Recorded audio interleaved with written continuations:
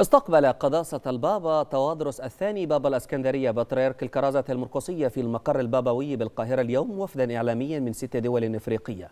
وقال المتحدث باسم الكنيسة القبطية الأرثوذكسية القمص موسى إبراهيم.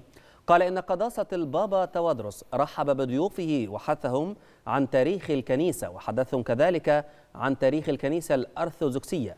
كما قدم قداسة البابا هدية تذكارية للوفد عبارة عن كتاب عن مسار العائلة المقدسة وأيقونة قبطية لزيارة العائلة المقدسة إلى مصر.